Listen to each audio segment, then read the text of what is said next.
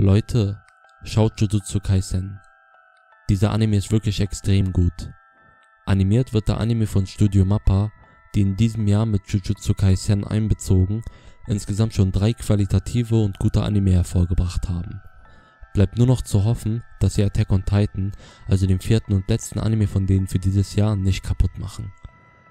Aktuell noch ist nur die erste Folge draußen und der Anime hat jetzt schon in eben dieser einen Folge Höhen und Tiefen bewiesen. Das Pacing ist sehr angenehm und der Anime fesselt einen beim Zuschauen, während der Plot auch einen großen Teil dazu beiträgt. Ein meiner Meinung nach großer Pluspunkt der Serie ist auch diese coole, aber auch unheimliche und düstere Atmosphäre. In dem Anime geht es hauptsächlich um Flüche und deren Bekämpfung. Der Anime beginnt direkt mit einer Frage, die aufgeworfen wird, die man zuerst vielleicht nicht wirklich genau versteht, in der aber auf jeden Fall mehr steckt als man denkt. Denn unserem Hauptcharakter Yuji Itadori passiert nämlich etwas Unglaubliches, was es soweit ich weiß in keinem anderen Anime gibt. Yuji Itadori ist nämlich der Protagonist, zugleich aber auch der Antagonist der Serie. Heißt für die, die es nicht verstehen, Yuji Itadori ist sowohl der Held in Anführungsstrichen, als auch der Bösewicht bzw. Schurke. Durch den Finger von dem Dämon Ryomen Sukuna, der by the way auch mit einem Fluch belegt wurde, gelang es dem Dämon in Yuji Itadoris Körper zu leben, nachdem Yuji Itadori aus bestimmten Gründen den Finger runterschlucken musste. Von nun an lebt dieser also scheinbar in seinem Körper weiter und somit haben wir zwei unterschiedliche Persönlichkeiten, Herangehensweisen, Ziele und noch vieles mehr, aber nur einen einzigen Körper.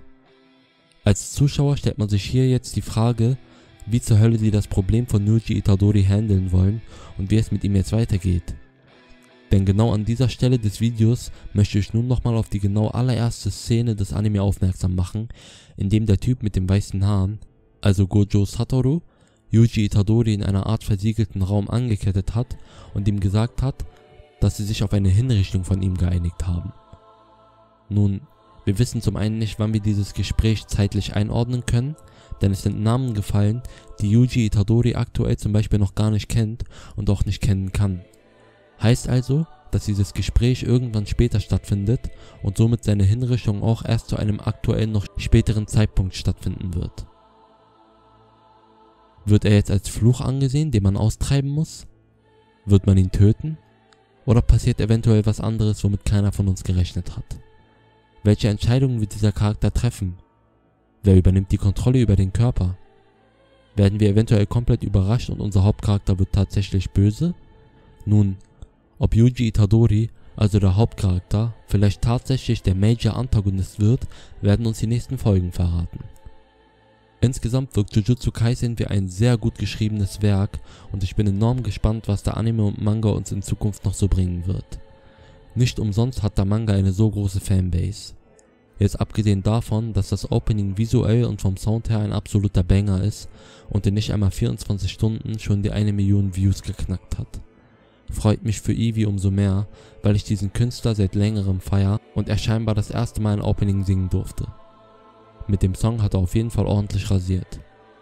By the way wird die erste Staffel vom Anime ca. 24 Folgen beinhalten. Ob diese aber in zwei Teile aufgeteilt und gesplittet werden, werden wir dann sehen.